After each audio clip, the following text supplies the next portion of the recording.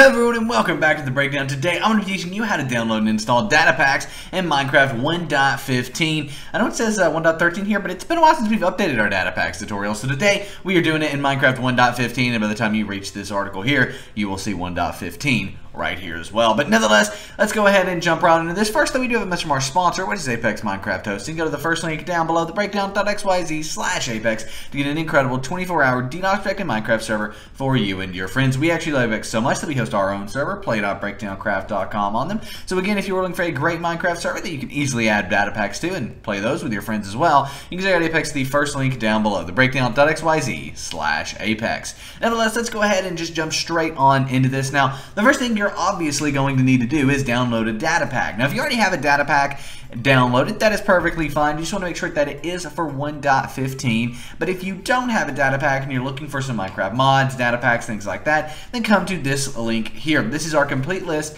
of Minecraft 1.15 data packs, basically going over all of the data packs that we find interesting and cool for Minecraft 1.15. So some of these aren't updated to 1.15 yet. As soon as I'm done recording this, while it's being edited, I'm going to be going through here and updating these to 1.15. But nevertheless, one that definitely is, is Vanilla Tweaks here. And this is actually our top one because it's really not just one data pack. It is like 30 something, 33 data packs all packed into one here. And that's why it is so important and why it's first on our list here. So nevertheless, once you're here, go ahead and click on Vanilla Tweaks download right here. And that's going to go ahead and take you off to Vanilla Tweaks website here. So as you can see here, all of the basically data packs for Vanilla Tweaks. Make sure it's the 115 version selected here. And there's tons of these, and there's always more being added. As you can see, it's, uh, you know, was less than 1.13 and then 1.14 and then 1.15. You know, so it, it, goes up over time, and they'll add more here for 1.15 as well. But uh, it came out like three days ago. So anyway, let's go ahead and download a few of these because they're all going to be installed in the same way. So first and foremost, let's say grab, I don't know, anti-creeper grief. That's pretty cool. Basically, when a creeper blows up, it's not going to blow up any blocks, and the player won't take any damage from that creeper.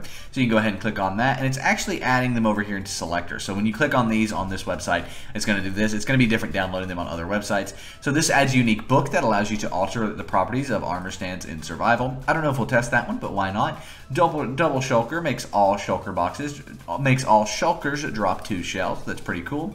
And then um, let's see, kill empty boats. That's just a cool thing to prevent lag, to be honest. We can come down here and grab the villager workstation highlights. That's a pretty cool one as well. But I think we'll grab set home. Count mob deaths. That's interesting. That is interesting. We're not going to do that one just yet, though. Um, your death messages, why not? And then we'll add in, like, player graves, because that's a really easy one to test. I don't know if we'll test all of these, but they will all install in the same way. So once you've got all these selected, you can click on download, and it'll go ahead and download them all on the bottom left, just like that. So now we go ahead and minimize our browser here. On my desktop, I do have Vanilla Tweaks. Your data pack that you download may be in your downloads folder. To find that, click the little Windows icon. For me, it's in the top left. For you, it's probably in the bottom left of your screen. Just go ahead and click on that little Windows icon the top and bottom left of your screen, and then go ahead and type in downloads. You'll then have this downloads file folder in Windows. Click on that, and then you'll find Vanilla Tweaks or whatever basically download that you have in here. Drag that to your desktop just for ease of use. I'm actually going to clear out my downloads folder. There we go. But nevertheless, once your data packs are on your down or on your desktop, you want to make sure that they're correct, right? So if we go ahead and double click on this, it's actually going to open this up and we'll see all of these different like things, right? All these different data packs. When you double click on a data pack, it should be a .zip file, right? But when you double click on that .zip file, you should see data and pack.mcmeta. And if you do, that is correct. But as you can see, where we downloaded these as a zip, it says unzip me, right? You want to go ahead and take all of these and drag them to your desktop. Now, we were to go through and check all these individually, right, that we've dragged to our desktop, we will see as soon as we open them up, it's got data, data, data. As you can see, all of these are going to have data here because these are the correct ones. If you open your data pack and it doesn't say data in there, well, then you need to fix that and you need to make sure that it does say data as soon as you open up your data pack. Some data packs will download and actually be a zip file because you need to install a resource pack with them. I'll show you how to do that here as well. So let's go ahead and get these data packs installed. Now the easiest way to do this is to go ahead and open up Minecraft. So I'm going to go ahead and open up Minecraft 1.15 here. So let's go ahead and do that. So you can see latest release 1.15. We're going to open up Minecraft 1.15. It told me it failed to download the file for some reason. That's not true. But nonetheless, it's going to open up Minecraft 1.15 here and you'll see how to install these. Now keep in mind that data packs are per world. Meaning it's not going to work on every Minecraft world you have unless you install it on every Minecraft world you have, right?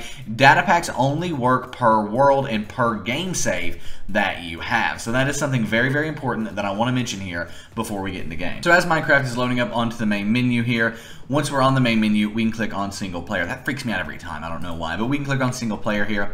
As you can see, I do have a 1.15 world here. I can click on that, and then we can come down here and click on the edit button. Once you click on the edit button here, you'll have open world folder. See that? Click on open world folder and it's going to open up this. Now this is where you want to install your data packs. Now as I said, data packs are per world. They don't work on every world, only on a per world basis. That's why we went into our saves here and then clicked edit and then clicked on the open world folder because it's only per world. It's not on the entire Minecraft game. So nevertheless, once you're here, you want to go ahead and click on the data packs folder here and then just drag and drop your data packs into this folder. It is that easy. Drag and drop any data packs that you have into the data packs folder in the world you want to install them in. Now, what we want to do for resource packs is come all the way back. See up here at the top, you have all this kind of information. You can come all the way back to .minecraft, and then you'll have resource packs. Now, for whatever reason you don't have this at the top, you can also get to this. By the way, always click Save after you install those data packs. You can go into Options here, and then you can click on Resource Packs. Then you have the Open Resource Packs folder here. When you click on that, you can install your resource packs here as well. Once you install them, click Done, click Resource Packs, and they'll be over here, and you can activate them by clicking that little arrow over there and moving them over into the Selected Resource Packs tab. Nevertheless, once you've done that, we can go ahead and click Done, and we can jump into our Data Packs world. Again, confirm that this has our Data Packs world. We can click on Open Resource Pack, or Open World folder, excuse me, click on Open World folder there, and then the Data Packs folder is here with our Data Packs installed. So let's go ahead and jump on into this by just double clicking on it. Now, once you get in game, your data packs won't work right away. You'll need to do slash reload in game in order for that to work. So we can do slash reload, hit enter, and it will reload and the data packs will activate. Now, if you do slash the reload and it doesn't work, I'm going to show you how you can fix that. You only have to do this one time, but basically what you do is you hit escape, come into open to LAN here, click on allow cheats, and then click on start LAN world. Then you can do slash reload and it will work. And then when you jump back into your game, everything's going to be working perfectly fine. You're not going to have any issues. Just have to do that on the first load up. Now, the first and easiest thing for us to test here is, of course, player graves. It's kind of morbid, but nevertheless, we can just come up here to the top and do game mode survival, and then we will fall to our deaths. And when we do, there it is. As you can see, the player grave is in there. If we respawn and can find our death location, because uh, I don't really necessarily know where the grave was at. It does tell us in the chat, by the way. We can see where the grave location is at. But I would like to not, you know, I would like to just be able to find it. But nevertheless, that did, in fact, work there. Uh, I think it's going to be maybe right over here. Maybe not. I, I See, I have absolutely no idea where we died at there. Anyway, if we, if we hit F3, we can kind of figure it out really quick. But nevertheless, so negative 58, so it's going to be like right here. And then we are 253. 253, so this way. So yeah, somewhere kind of right in this area. Oh, right there it is. We fell to our death. And we can see that, you know, there's the gravestone. We can go ahead and I think break that gravestone with a shovel. I always uh, mess this up because there are a few different gravestone like mods or whatever. Some of them require you to break it with a shovel, some of them don't. It's, it's so weird. So give me a diamond shovel. And we're going to see if we can break this. But um, all of the gravestone mods are a bit different. I think maybe hold shift. I forget. There's a way to break this. You all will have to remind me in the description exactly of what that is. Okay, there we go. That broke it. I had to shift click it, and as you can see, we got our bee spawn egg, beehive, and bee nest back, which we had before our basically death there. So that one is working. There are some other ones, double shulker as well. If we go into game mode creative real quick, I can showcase the double shulker mod there. So basically all we want to do is just get a shulker spawn egg, and then all these shulkers, can even spawn them in the overworld? You can. And then when these shulkers die, they should drop, they should, in theory, drop two shulker, basically shells, two shulker shells. Um, oh, what you doing? Stop TPing. Don't be doing that to me. I should really get like a diamond sword here probably, but anyway, let's, let's see if we can get a diamond sword. See if we can make that faster. I honestly, it's been, there we go. And as you can see, it did drop two shulker shells there. And then we can go ahead and kill this one as well. We'll be a lot faster now that we have a diamond sword. There we go. And that one dropped two shulker cells. See, pretty simple stuff. There's also armor stand customization. So we go ahead and type in armor stand here. Uh, I actually don't know how this one works, but it basically uses a book to allow you to customize armor stands, more specifically in creative. I don't know how that one works. That's something you would have to Google to, to figure out, to be honest. We also do have anti-creeper lag, or creeper explosions. So we go ahead and spawn in a few creepers here. Let's go ahead and just spawn in. I don't know if that'll work. This is probably going to kill me, but let's go ahead and do that. Hi. And then they explode, and as you can see, nothing happens. Oh yeah, it actually doesn't hurt the player either, so we can just sit here, boom, no issues whatsoever with creepers. We do have set home, so we should be able to uh, might not know how that one works, to be honest. I do know that uh, there is a set home command installed, and then villager death messages. This one could be interesting. It might not work with a spawned in villager, but we'll give it a shot. So let's see, villager here.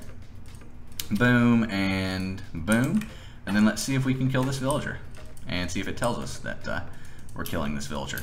Yep, there you go. A villager has died with the villager death messages there. So the only ones we didn't try are the customizable armor stands because I don't know how to do that one. And same thing with the set home. The set home is a little weird to me, to be honest, because uh, I would assume you could do like slash set home test and it would set the home, but it doesn't seem like that is what it is. So I would need to do a little more research to figure out exactly how to use that one as well. Luckily, with the Vanilla Tweaks data packs, Xisumavoid has videos on his channel on all of that stuff, as well as uh, for other data packs, everything is going to be found on the data packs like resource page.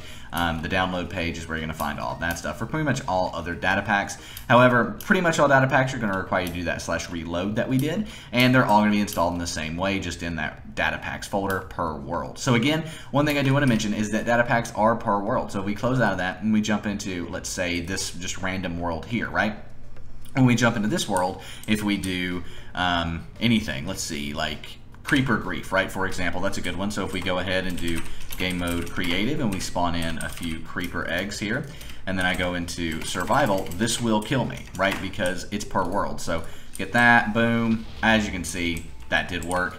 And then if we spawn one more in here, boom, creepers will kill me. And it blew that building all to pieces because, again, that data pack is just for that specific world. It is not for all of the worlds on your Minecraft server come back over into 1.15 here. I say no mods, but now it has mods. But anyway, come back over here into this one, spawn in a few creepers in game mode survival, and it will work perfectly fine. It will explode, and it won't hurt me because, again, we have that anti-creeper data pack installed. But yeah, there you go. There you all have it, excuse me. Hope you enjoyed this video. If you did, please give it a thumbs up. Subscribe to the channel for more awesome content like this every single day of the week. We have incredible Minecraft tutorials coming out every single day for 1.15 and soon 1.15.1. So if you enjoyed this video, give it a thumbs up. Come play with us on play.breakdowncraft.com, the best Minecraft server in the multiverse. But nevertheless, enjoy your new data packs or Minecraft mods, whatever you want to call them. My name is Nick. This has been The Breakdown, and I am out. Peace.